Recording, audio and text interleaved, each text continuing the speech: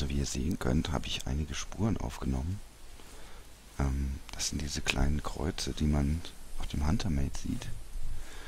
Ähm, gut, ich bin jetzt nicht wirklich ähm, streng diesen Spuren gefolgt.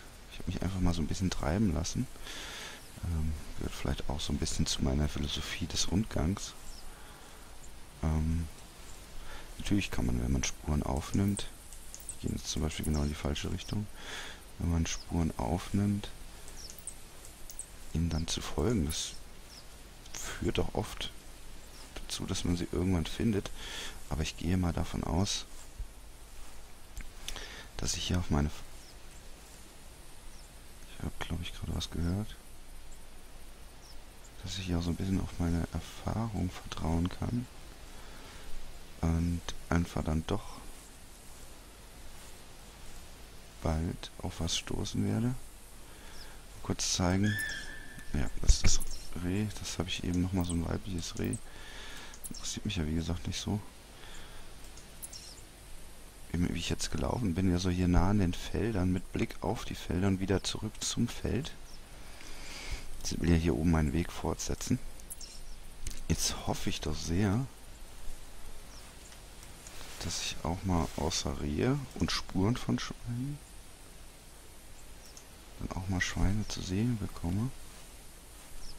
Fasane habe ich interessanterweise auch noch keine gehört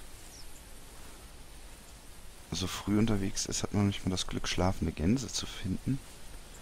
Die, es wäre eigentlich so die einzige Chance, ohne jetzt dieses Tarnzelt und ohne diesen, ja, lange Distanzenrufe und kurze Distanzenrufe überhaupt Gänse zu schießen.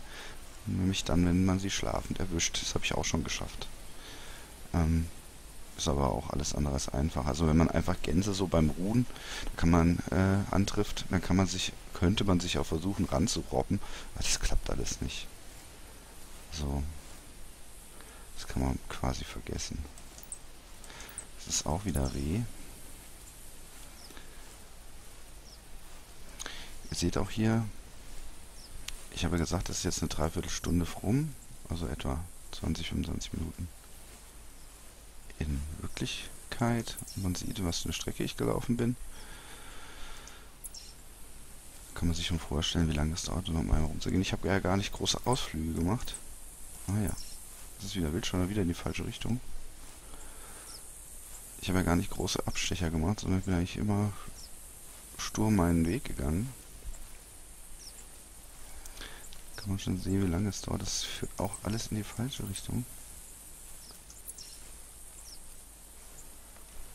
Jetzt kann ich natürlich überlegen, ob ich dem folge. Es sind ja wirklich einige. Aber die scheinen auch relativ weit weg zu sein. Muss ich ja den ganzen Weg nochmal zurück. Ich entscheide mich jetzt einfach mal, hier weiter zu gehen. Und wenn was passiert, dann bin ich wieder zurück. Bis dann.